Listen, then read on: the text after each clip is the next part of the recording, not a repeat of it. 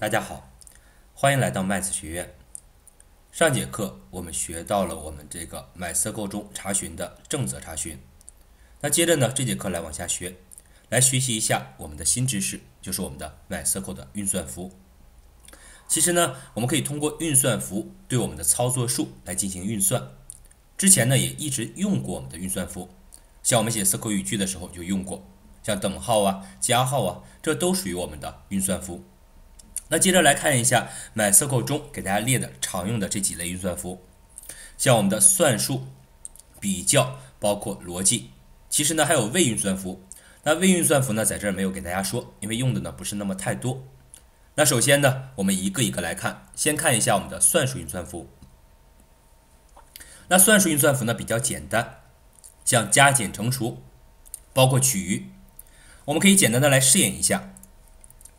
可以写成一个 select 一加一，得到的是二，接着一减一，二乘四，三除八，这都是比较简单的算术运算符。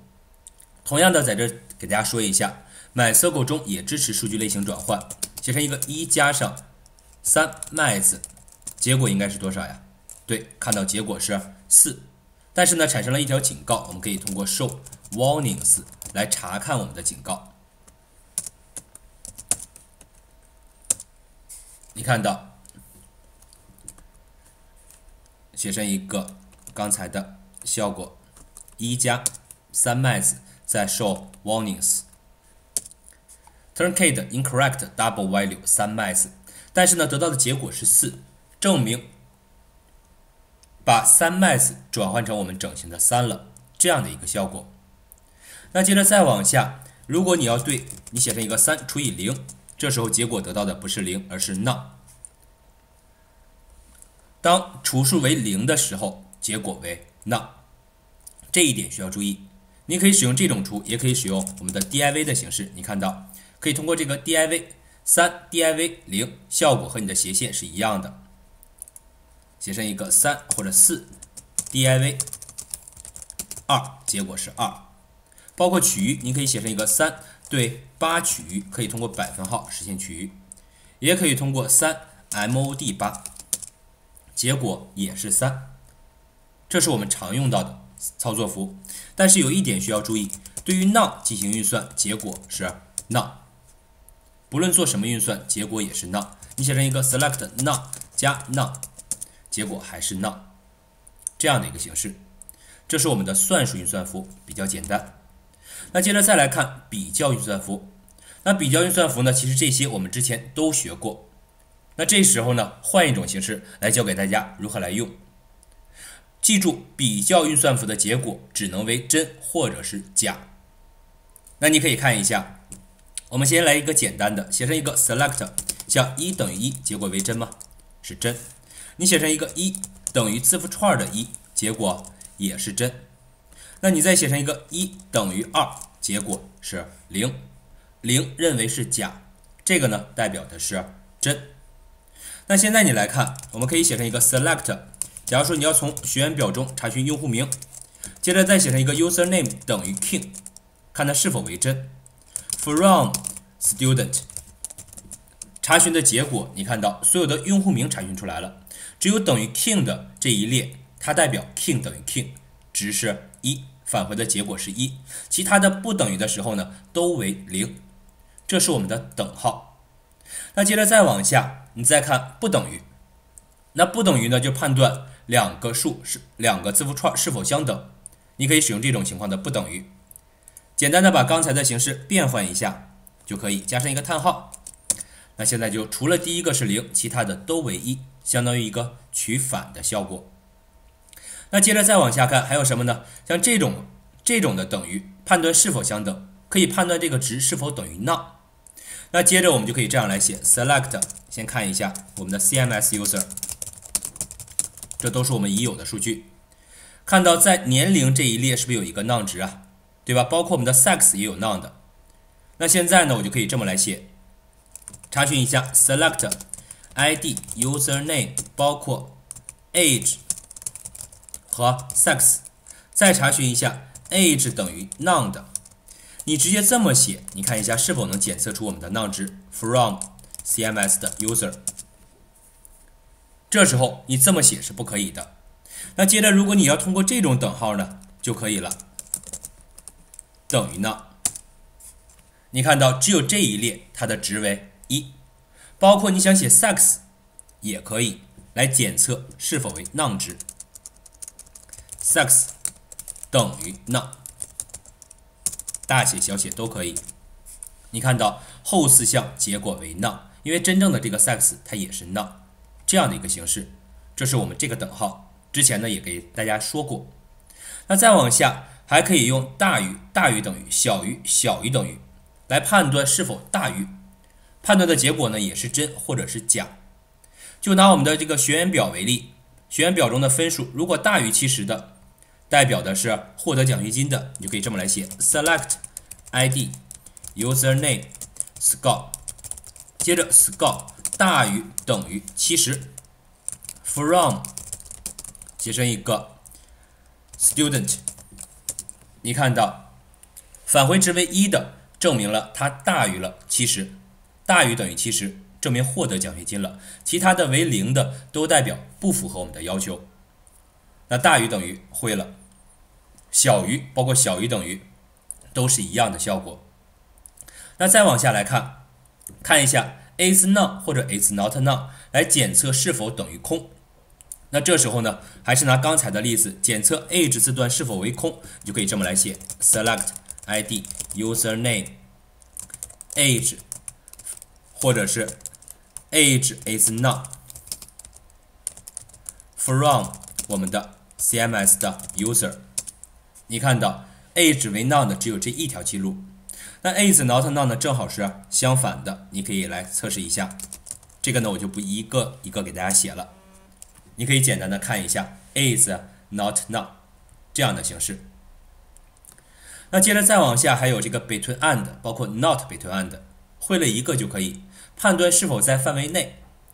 那接着我就可以来判断一下获得三等奖学金的和一等奖学金的。之间的，那这时候我就可以就是获得奖学金的，或者说判断某一个人的年龄在某个范围内，你就可以这么来写：between and select 一个，写成一个 ID username age，接着写成一个 age between 大于等于十 and 三十 from 我们的 CMS 的 user，你看到符合这个要求的二十一在。不在的都为零，其他的在的都为一。那 none 值呢？结果就是 none 这样的一个效果。来看一下检测的结果，只是真或者是假，一或者是零。那接着再往下还有什么呢？还有我们的 in 或者 not in，判断某个值是否在一个固定范围内。那现在我想检测一下我们年龄是否有三十四十五十的人，就可以这么来写。或者显示检测二十一、三十一、四十一的人，你就可以这么来写：select id username age，接着写成一个 age in 二十一、三十一、四十一、五十一的人 from CMS 的 user。你看到，只要出现的值二十一在，返回的是一；不在呢，返回的是零。当然，你可以这么来应用，也可以单独的，你写成一个 select，写成一个一 in 一二三，结果应该是一。那你要写成一个十一 in 一二三，结果就是零，效果是一样的。可以单独来用，也可以在你的 circle 语句中结合起来来使用。那 not in 呢，正好是它的取反，我就不带着你来试了。包括我们的 like 或者 not like，简单的带你来测试一下。你可以查询一下用户名，select，或者你直接来简单写，写成一个 s like 一个下划线，那这是可以的。字符串的 s，你看到代表的是一个任意字符。那接着你写成一个 sd，你看到返回的就是零这样的效果。同样的，你也可以这么来写 select。Id username，接着写成一个 username like 四位的用户，from CMS 的 user，你看到唯一的结果是一的，它都是四位的用户，这样的效果。这是我们的 like，not like 呢，正好是取反，取反的一个效果。那接着最后是一个正则，正则呢我们也学过，你可以简单的写成一个字段正则，写成你的正则匹配形式。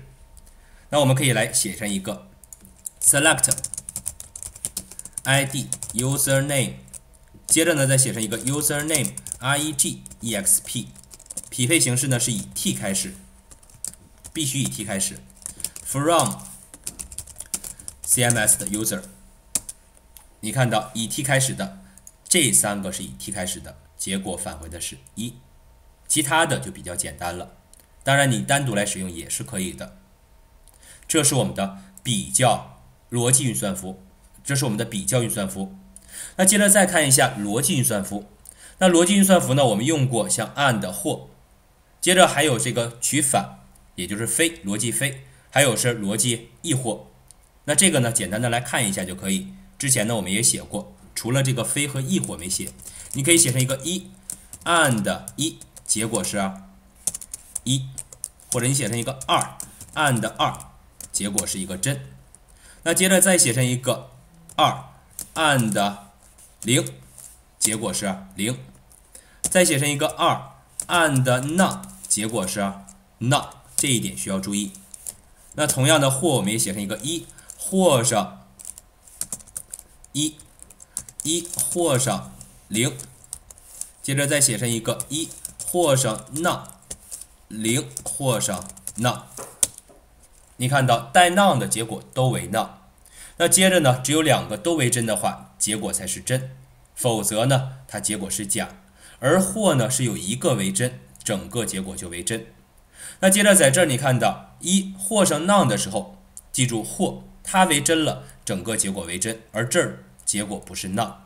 但是零呢或上 non 的时候，零是假，接着会执行到它，所以说结果才是 no，相当于我们短路的一个效果。那接着你再来试验一下，写上一个 select no and 一个一，结果是多少？对，是 no。同样的，再来写一个取反的，写成一个叹号一，叹号零，叹号 no，看到结果，一是真，取反之后变成零，零是假，取反之后变成真。那 none 呢？结果还是 none，这样的一个形式。这是我们的逻辑运算符。最后还有一个 XOR。和我们 P R P 中的效果是一样的，简单来测试一下就可以。一 XOR 零零 XOR 一，接着写成一个一 XOR 一，写成一个零 XOR 零零一 XOR 零。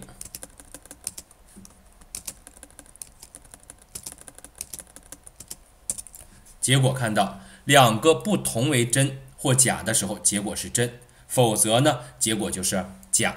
这样的效果。同样的，在我们的 MySQL 中也有运算符的一个优先级。当这么多运算符结合起来使用的时候，你可以通过以下给你列这个表，看到我们的优先级的一个顺序。那优先级高的呢，会先被执行。当然呢，你可以通过括号来改变我们的优先级，和 P2P 中的效果是一样的。那下来之后呢，大家把这一块简单的看一下就可以，不难。那这节课呢，我们的运算符就讲到这里，感谢大家的收看。